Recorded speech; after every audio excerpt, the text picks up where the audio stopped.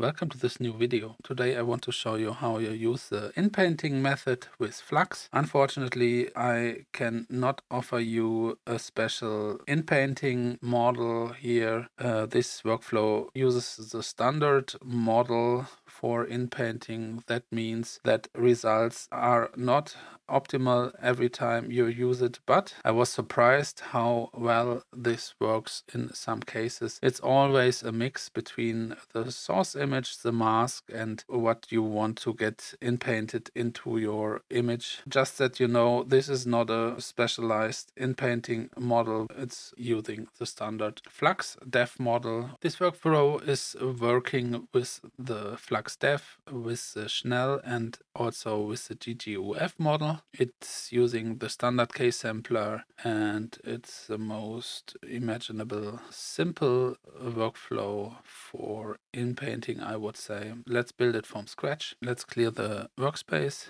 Let's load the checkpoint, double click on the background and load checkpoint. You can also use the GGUF loader here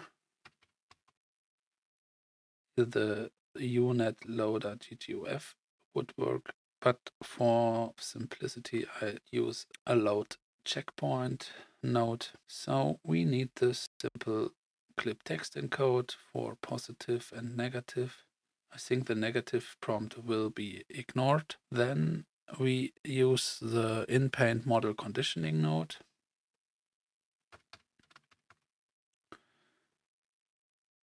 Connect the positive to positive and the negative to negative. We connect the VAE. We need an image, load image node. We need to load a source image.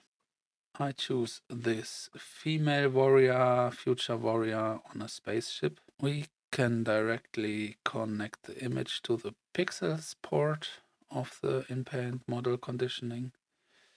And for the mask, I like to use something which makes the masks more more blurry. So the transition between black and white is more smooth.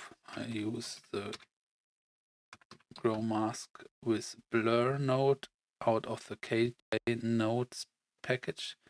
I will link this in the description below. Connect this to the mask port and then we can already go to our K sampler, connect this negative, connect the latent, and we connect the model. If you use the GGUF model loader, you need to load uh, the clip extra and the VAE extra. For simplicity reasons, this is all combined here and it works quite well. Let's choose the flux dev model. So we need to decode everything, connect the VAE to the decode, and then we can save the image with a save image node. That should be the whole workflow. So let's create our mask. We do it in the mask editor. So right click on the image and choose open mask editor. I want to replace the head. So I draw the mask over the head, save to node. And now we have our mask. So I want a mask preview.